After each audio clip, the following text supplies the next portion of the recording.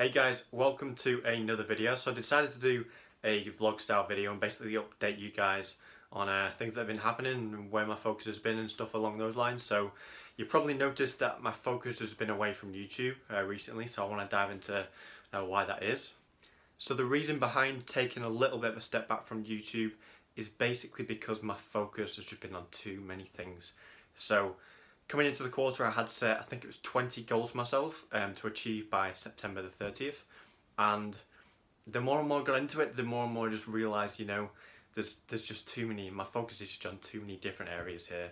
Um, I think I have my focus in five or six different areas, which is just, looking back on that now, it's just far too many areas, you know. My, my primary focus is trading, you know, just refining um, through backtesting and forecasting and put everything in place to, to make sure I'm prepared for trades.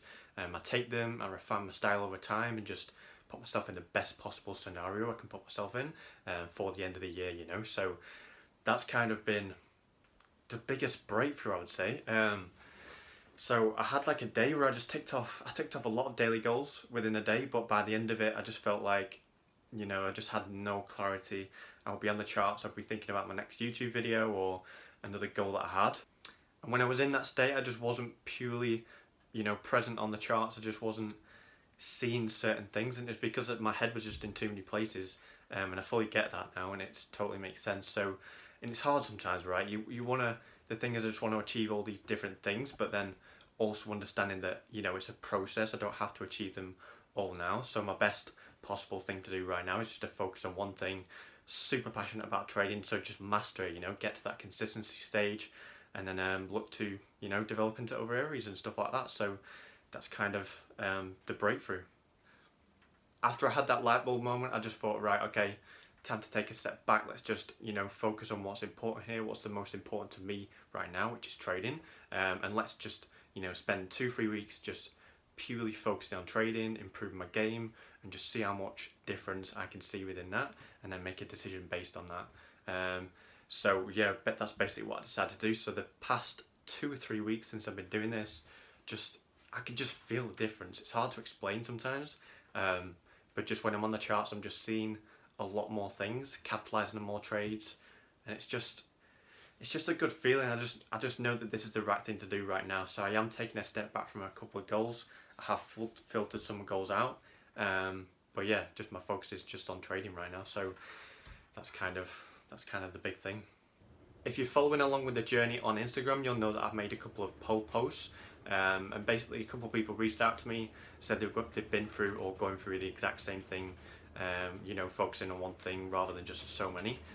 So yeah, it just became apparent that, you know, it wasn't just me going through it. So a big lesson from my journey and just this, this lesson in general is just if you're going through the same thing where you're just finding yourself just focusing on too many things, um, I definitely get it definitely get it. It's hard sometimes, um, but just focus on one thing. If a big thing for me was taking a step back and looking at you know other successful people and thinking, okay, how did they do it? So, you know, if you look at a lot of successful people, they just focused on one thing, got to a level of mastery, and then expanded into other areas. So that's kind of that's kind of what you need to think about. You know, that's what I've been thinking about anyway, and um, it's kind of just yeah, it's kind of just made my mind up a little bit. I just want to focus purely on trading because once I get to that consistency stage and start building it up, which is starting to come now, um, it just spirals into so many good things. So that's kind of um, mm, that's the big lesson. So that's kind of where I'm at. So I just wanted to share a bit of insight into my thought process, where I'm currently at within the journey and stuff going forward. Um, so that's currently where I'm at. And I also wanted to say, I just wanted to say a massive big thank you just to everyone who's just been following along with the journey. Um, you know, the IG fam, the, the YouTube family, I just honestly just appreciate it so much. Um, starting out this journey was just super lonely for me. So, you know, seeing all this feedback right now is just so humbling um, to see and I'm just, I'm just super grateful. So thank you for following along with the journey. Can't wait for things to come and uh, yeah, have a good week guys and I'll catch you soon.